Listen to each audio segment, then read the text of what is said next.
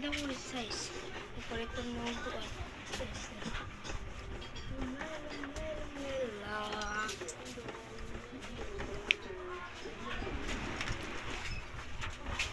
Guys, check nyo nga.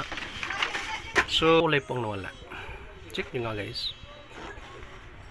Anong kayang kulay ang nawala?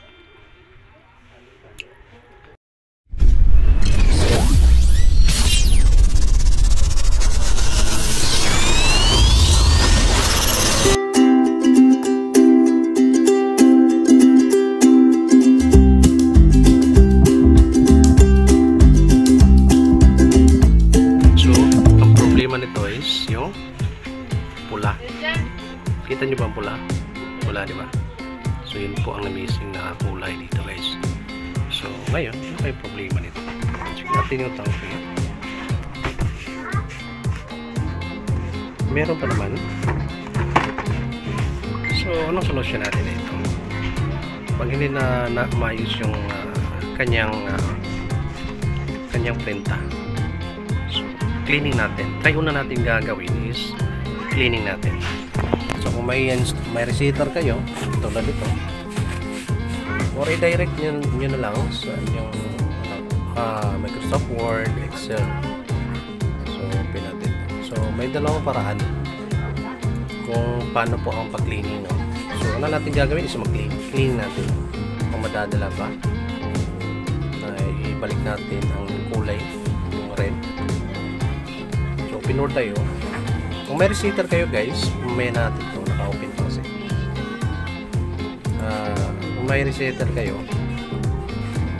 pwede kayong makapag-cleaning dito. Mas maganda mo. Uh, pag-clean niya. So, ito po yun, no? Kita niyo po, sa receiver doon. May cleaning siya. So, click nyo lang po yung cleaning. Ah, So yan, cleaning. So check ah, select nyo po kung anong mas maganda. So middle lang. Si meron luma ah, yung red lang naman ang nawala. So yan, cleaning natin. Yan, nag-clean na po. Mandar. So, kita nyo, mandar siya. So, kung wala guys, kung wala kayong resetter, no, pwede nyo pong ma-download. Pero mayroong paraan din. May parang paraan. Tulad nito. So, print na kayo dito. Kung open nyo pong Word, Microsoft Word. Print. Makita nyo po yung properties. Para makleaning. Once naka-install, if naka-install po yung driver nyo, dapat naka-install yung driver ng hala printer na gusto nyo i-cleaning. Tulad nito pag i-print the properties nyo, lalabas to. Pag hindi po lalabas to, ibig sabihin nun is hindi po naka-install yung driver niya. So, ang gagawin nyo naman po is mag-install po kayo ng kanyang driver. Hanapin nyo po yung CD or mag-download ka po. I-download nyo po yung driver ng printer na gusto nyo i-clean. So, dito sa maintenance, makikita yun. Cleaning, heat cleaning. So, tapusin muna natin ito dito kasi mas maganda pag uh, sa receiver ka mag ayan po so lang natin itong matapos. Check natin mamaya. So yan tapos na po. Ayan so tapos na po pag cleaning then check natin. Print natin kung uh, okay na ba? Kung ayan.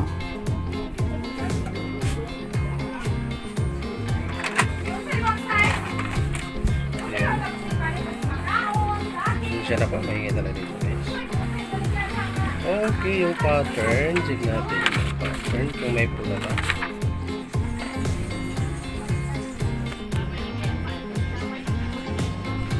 may pula naman pala. Okay naman yun.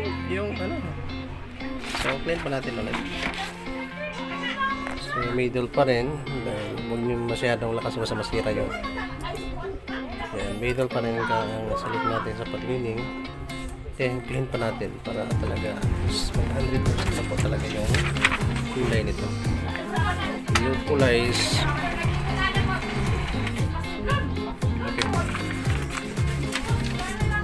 okay so yan po so antayin antayin na naman natin ng 100% So yun guys, tapos na naman pangalawa nating cleaning. No? Check na naman natin to sa nozzle uh, check pattern. Tayo. So ito yung wala no? Compare natin to. Medyo madilim guys. Pasensya na po.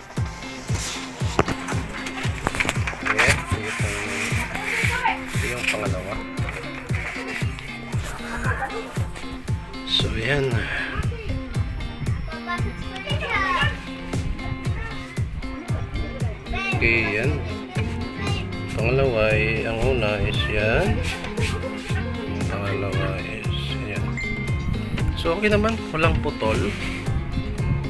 Kita nyo walang putol. Umay, uh, meron naman yung pula. Siguro nakulangan lang to ng ink. Ayan, so. Ngayon is yung pattern na talaga. Gamitin natin. Print tayo ng pattern. Close na natin to. Then, uh, final pattern natin. Mas, mas maganda talaga pag meron kayong uh, receiver. Yan, kung gusto niyo pong maka-download ito, nandyan po sa description box po yung uh, receiver natin guys. So, check nyo lang ah. Check out nyo lang po sa baba. Kung uh, andyan. Okay, so ito po yung uh, sa pattern. So, kanina is uh, compare natin yung kanina lang. So, yun lang po simple po pag-cleaning.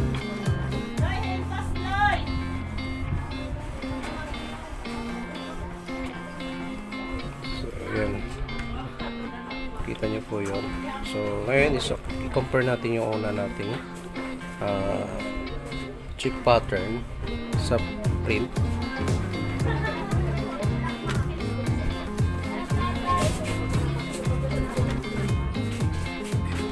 Okay, check natin to.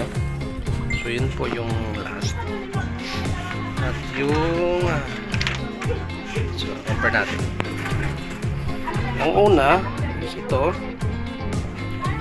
Ang last is ito na siya. So, yan. So, okay na siya guys. So, wala na po nawala dito. So, cleaning lang natin. So, yun lang po simple pag-cleaning. So, cleaning lang natin yun guys. Ah, hindi pa rin madala pag cleaning. So, may problema na po sa heat. No? Ito po yung heat. Nakita ko po yung heat, guys. Ito yung heat, no? Ito po yung heat. So, kung ganun pa rin, ilang basis nyo na pong i-clean, i-clean, uh, paulit-ulit na i-clean, ganun pa rin. Lalo, lalo na pag wala talagang, ah, wala talagang print, no? So, ito po yung problema. So check out niyo lang po, may video po ako dito. So replacing uh, uh, heat uh, printer heat. Ito po yung heat.